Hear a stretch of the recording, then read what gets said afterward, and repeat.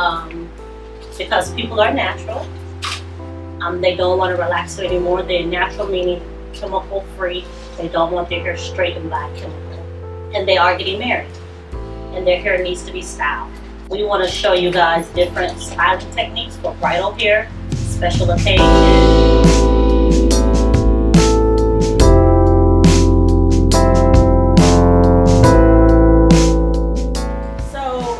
What she has, she has right now, this is the first style. She has her heart with her bantu knot.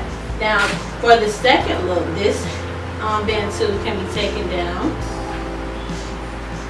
and taken apart. This one can be taken down just to give it a little bit of life. And you can take this apart. And now she has a nice little front piece along with her head. You're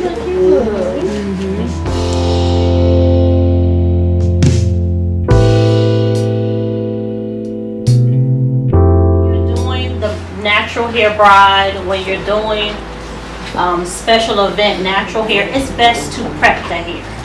That's essential. It's just a part of taking brides. It's what you have to do. You need to prep that hair 24 hours before. So um, you would go in and twist the hair, and then that day of the wedding, I'm gonna release it and do everything that way. Definitely with bridal hair, you wanna go simple for natural hair.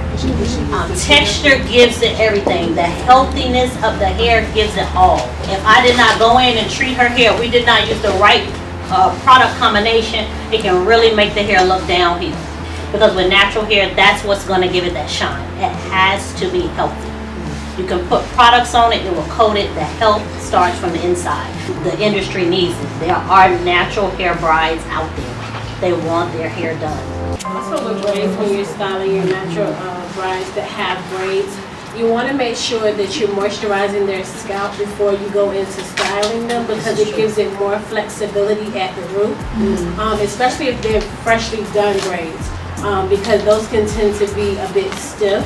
So you want to make sure that the scalp itself is a little bit more flexible and you can do that by um, adding like a curl refresher, um, a scalp nourisher um, or something like that to be able to put directly on the scalp to make it loosen up just a little bit. Bridal consultations and whenever you come in I ask the bride to at least pick three styles mm -hmm. that they like and then show me a style for the bridesmaid.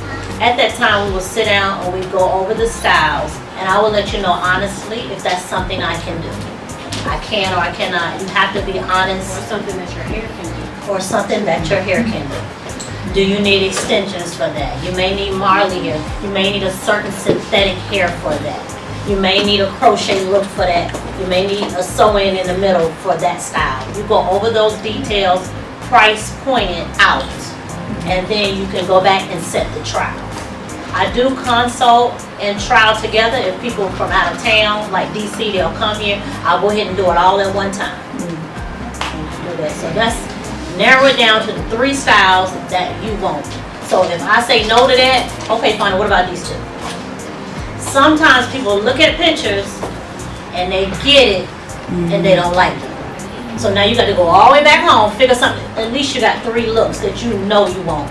So it gives yourself options. you may be able to take something from this picture, something from that picture, and put it together to make your own original style. Mm -hmm. And that's something that you haven't seen before. So it's something specific